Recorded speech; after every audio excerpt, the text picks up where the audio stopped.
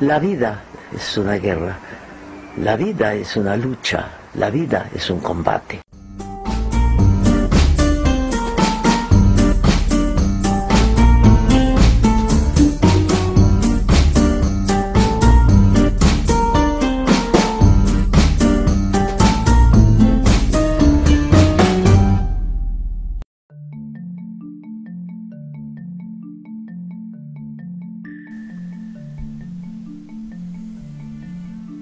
En cambio, Jorge Negrete se obstinó en hacerme la vida pesada.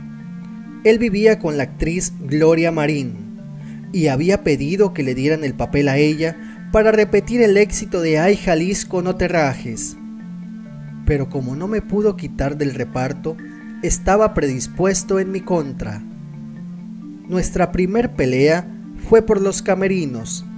En Hollywood yo había visto que los grandes actores tenían su camerino dentro del set, una como casita con ruedas. Pedí que me la pusieran. Y como eso no se usaba en México, Jorge fue con el productor a quejarse de que una desconocida como yo no tenía derecho a esos lujos. Hizo un coraje de los mil diablos, porque de todos modos me instalaron el camerino. Pero yo no lo pedí por veleidosa, lo pedí porque siendo una principiante no me podía concentrar con toda esa gente que andaba por el set rascándose y comiendo garnachas. Después del peñón se implantó la costumbre del camerino en el set, pero yo fui la primera del cine mexicano que lo exigió. La pelea continuó en una locación a la orilla de un río. Me había demorado un poco retocándome el cabello y Jorge se impacientó. Si esta señorita no está lista en cinco minutos, me voy, le gritó al director. No espere los cinco minutos y váyase de una vez, le contesté. Y para tardar más, arrojé mi chongo postizo al río. Negrete creía que yo era una vedette, pero él era entonces más diva que yo. Él estaba en la cresta de la ola y me quería tratar como una cosa chiquita. Naturalmente yo no me dejé. Cuando ensayábamos una polca me dijo, Oiga, tengo una curiosidad. ¿Con quién se acostó usted para que le dieran el estelar? Usted tiene más tiempo en este negocio, le dije, así que debe saber con quién hay que acostarse para ser estrella. Y quiero advertirle algo. Yo no necesito hablar con usted para nada.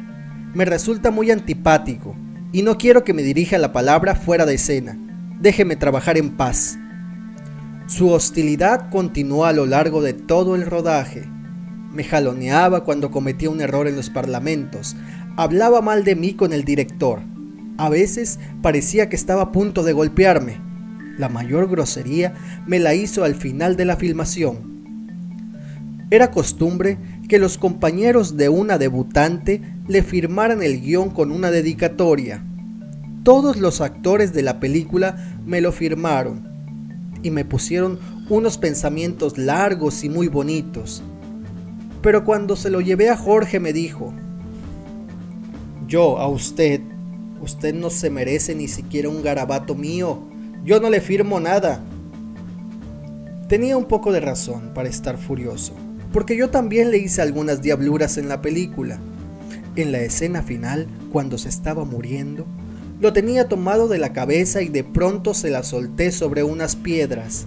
De milagro no se descalabró.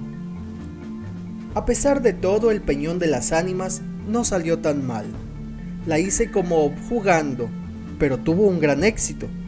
Al ver la responsabilidad que se me venía encima con el público, me puse a reflexionar y me dije, ah caray, esto es un oficio, hay que aprenderlo.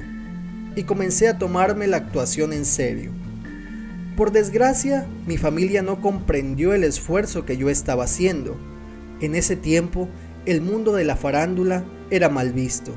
Se creía que las actrices iban de cama en cama para conseguir un papel, y cuando mi papá supo que yo había hecho una película, mandó a hacer un pergamino que hizo firmar a todos mis hermanos y en el que dijo que yo era una perdida, una mala mujer y una vergüenza para la familia.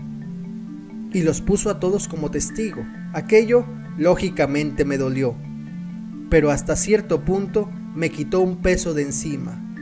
fue como una licencia para volar.